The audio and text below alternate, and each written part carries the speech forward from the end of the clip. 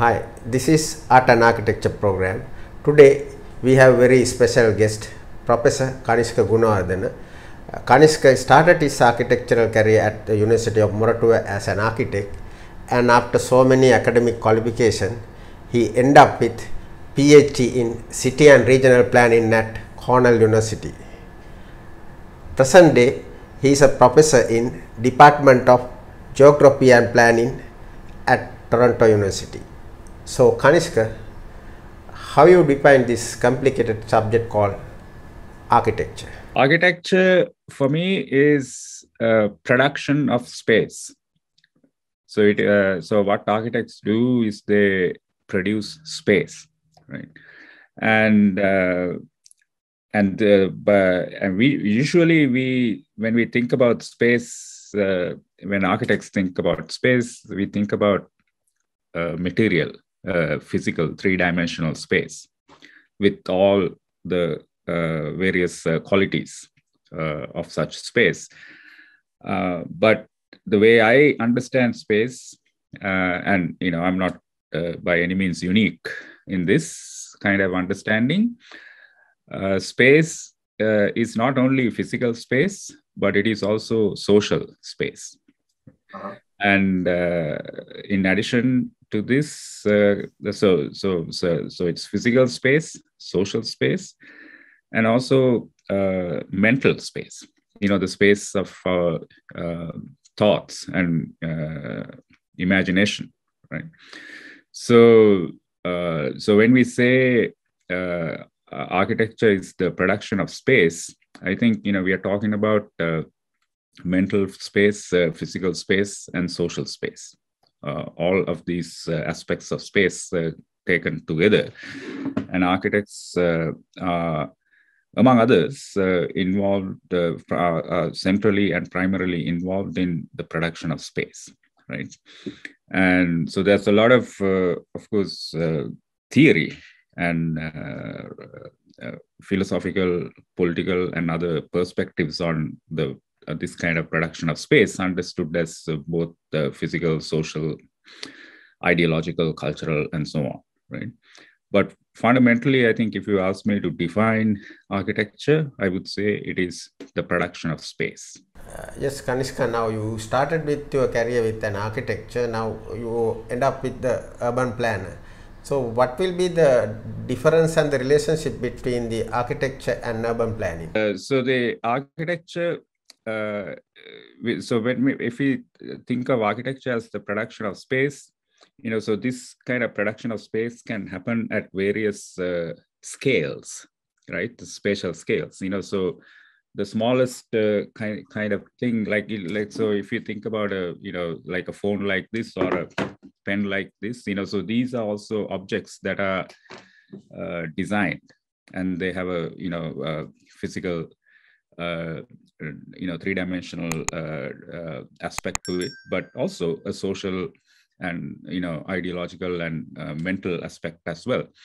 But architects you know typically design at the scale of houses, buildings, yeah, interiors, you know, but the scale can vary quite a bit, you know, so sometimes as you, I'm sure as you have uh, uh, uh, done in your own practice, you know, we design sometimes something very scale, you know, maybe it is uh, detail, you know, of a window or a, um, uh, like a, you know, small uh, like a little detail of something, a piece of furniture, right? But uh, but then we can go to the scale of the room, uh, a house, a garden, and but this kind of uh, uh design or the production of space can obviously extend uh, beyond the scale of a individual house or building to a group of a complex of buildings you know so a whole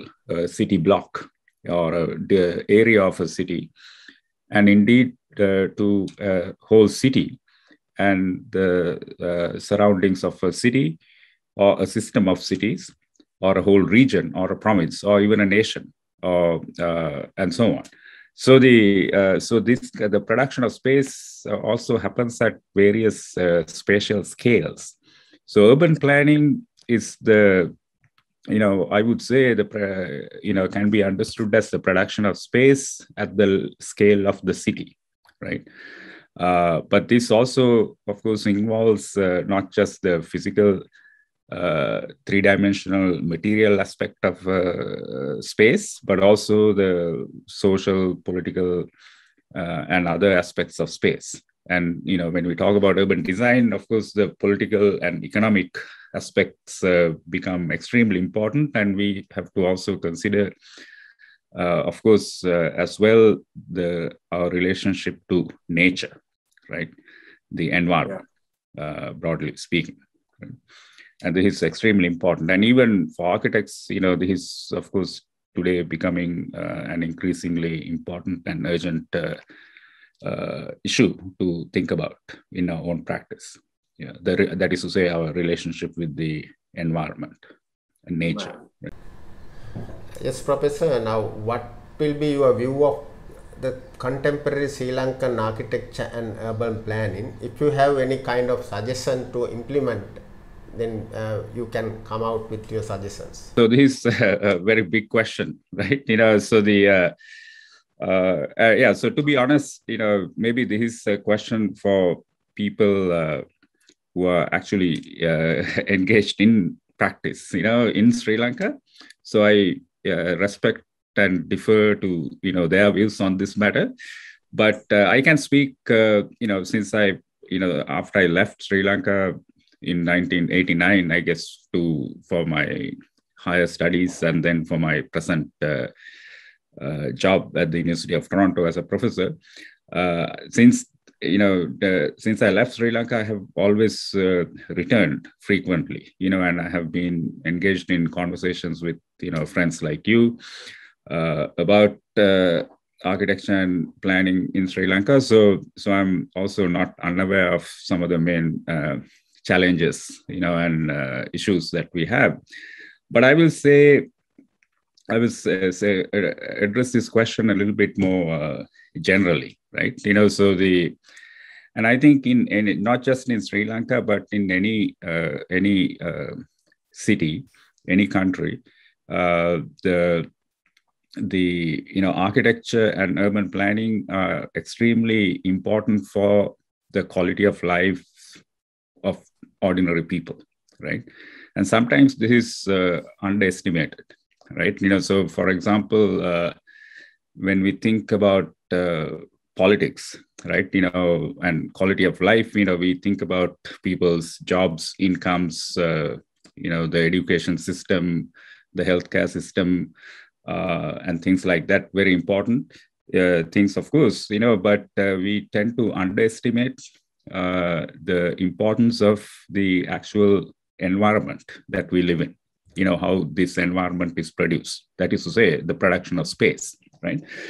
Uh, but i think the the space that we live in or the environment that we live in uh, and we call it the built environment you know the first degree that we did at the university of Moratuwa uh, was actually called built environment bsc in built environment right? So the significance of the built environment uh, uh, and the, the, significance of the built environment for the quality of life of people is uh, something that tends to be underestimated right? So i think the the most important thing is that we have to uh, start thinking and also um, uh, as professionals and practitioners of architecture and planning and urban design and these kinds of uh, specialized fields we have to think how to make we have to ask you know how do we improve the quality of life of ordinary people you know in in the country so this is the most fundamental question so the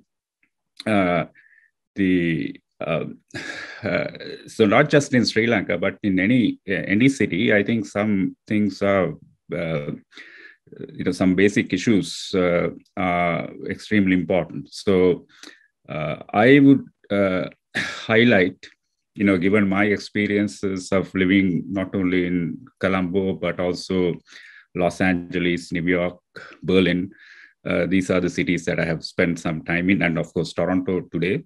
So I think the affordability, you know, especially when it comes to housing, you know, is a very important uh, issue for people. So for like uh, housing affordability, and also related to that, uh, if you ask me, the top issues is the uh, issue of public transportation.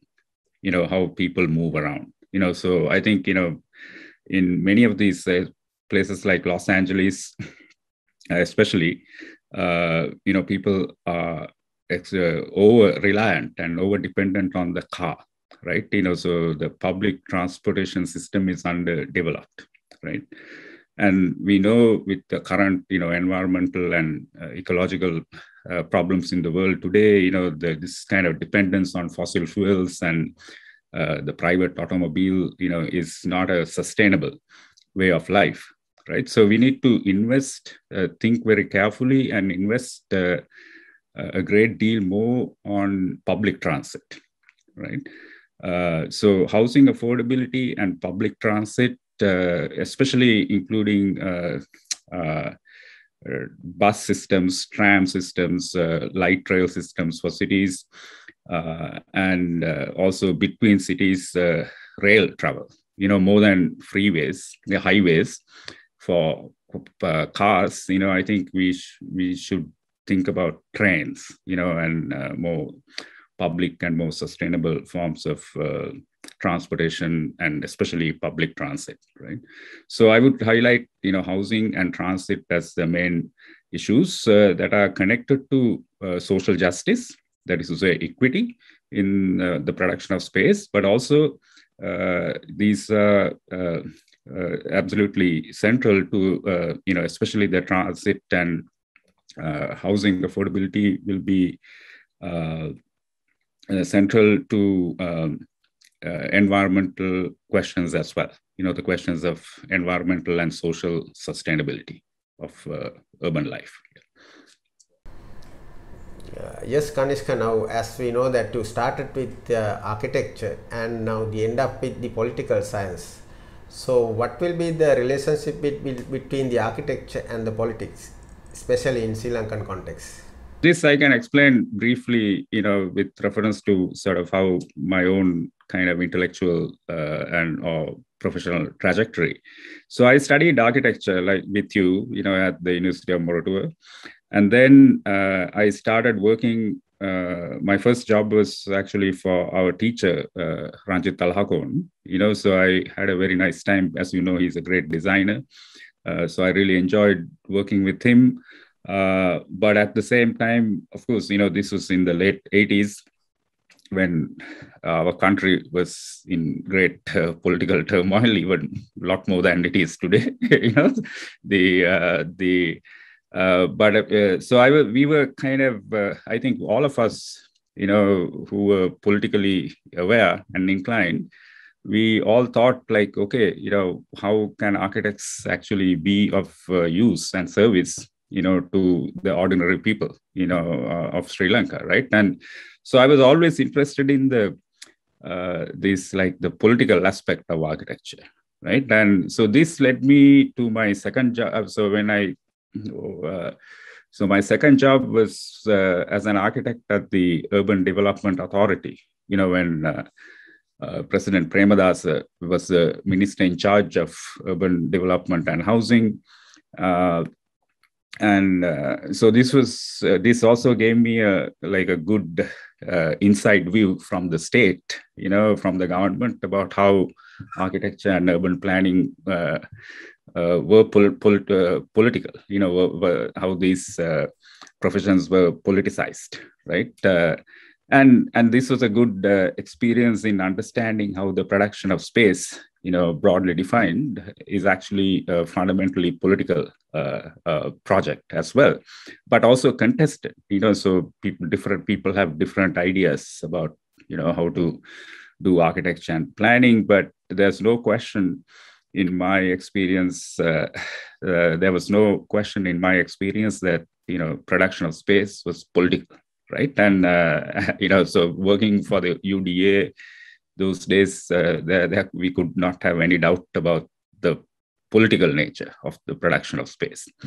So this made me interested in actually studying this a little bit more and so I went to graduate school, uh, did a master's in planning at the University of Southern California in Los Angeles. So this is also an incredible city to think about the politics of space, right? And uh, the so I started reading various uh, writers about architecture, planning, and also cities like Los Angeles, especially Mike Davis, you know, who's a uh, has been a very influential figure for me. He wrote this great uh, series of books about Los Angeles, starting with City of Quartz, uh, which I have recommended to my friends, you know, in Sri Lanka as well. So the uh, uh, the uh, the so so re, you know so all of this like led me to the you know study more and more politic politics you know so that is to say critical theory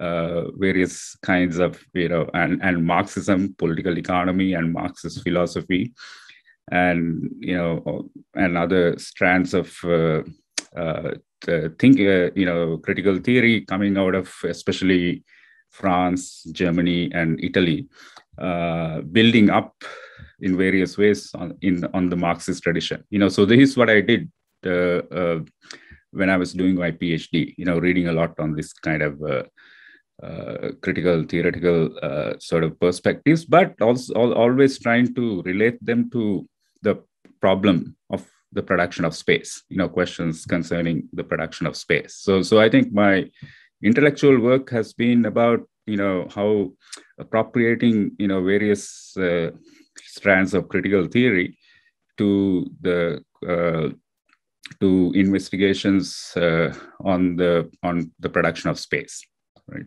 Yeah. Uh, and also i would like to ask final question kanishka uh, what will be the uh, most suitable uh, political system to be adapted into develop this country especially in sri lanka?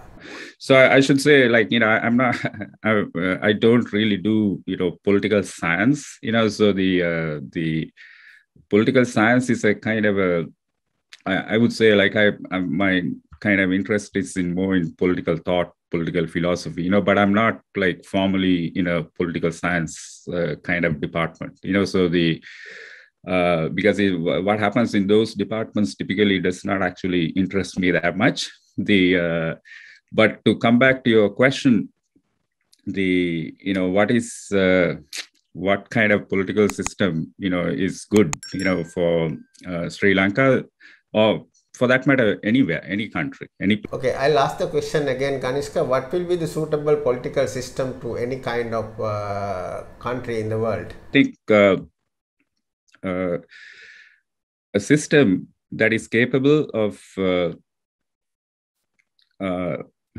resolving these enormous uh, contradictions you know in social social uh, relations and also like you know uh, con- contradictions and problems in the way people relate to other people and also the problems in the way people relate to nature right? So these are the biggest problems that we have to deal with. So obviously you know from my perspective uh, a political system the, the a good you know political system would be one that is capable of addressing you know these fundamental contradictions. You know so we can come up with various names you know for such systems but more important than names uh, is like the the is to identify i think the problems uh, uh, a political system uh, must be able to solve you know the main problems. So the two main problems are the inequitable exploitative